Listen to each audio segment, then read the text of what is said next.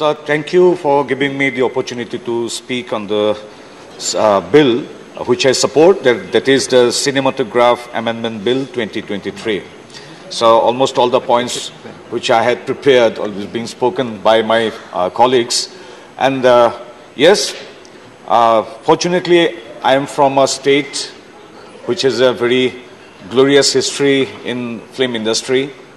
Jyoti Prasad Agarwala, uh, the first filmmaker of Assam, he produced, directed the first movie way back in 1935. It's called Joymoti. So after 12 years, we are entering, uh, we are celebrating the 100 years of Assamese cinema. And uh, Joymoti, the first movie, uh, to the best of my informations, it is the first dubbed or re-recorded movie in India. And it is amongst the first 10 talkies of India. And uh, the main character, the protagonist is female protagonist. I think during those days, this is the first film having uh, a female character in the center stage. So I uh, also had the opportunity to, to serve the film industry as a film worker. I'm, a, I'm from the film fraternity. I have an experience of 25 years in Assamese film industry, right from. Uh, so I used to produce, direct, and assist the directors as well.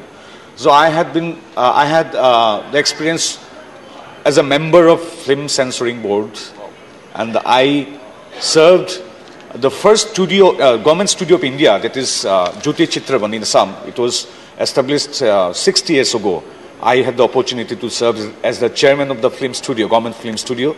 So having uh, these experiences, I really appreciate the moves taken by our honorable minister because of the practical knowledge or experience, with the experience and knowledge, I do appreciate our honor, honorable minister and our GOVT for taking this bill of amendment. And the piracy, yes, uh, main, main focus in this bill uh, for my side is the piracy. And yes, for a filmmaker or a member of the film fraternity, piracy uh, is cancer, like cancer of film industry. It not only affects the producer or the production house, but, and, but the entire ecosystem, right from the spot boy the junior artist, the dancers to the director to the writer, entire ecosystem of film industry get affected because of piracy. And I really, as a not only as a member of uh, this parliament or uh, uh, or a member of my BJP, but as a film fraternity member, I congratulate, I thank Anurag Thakurji for uh, this amendment.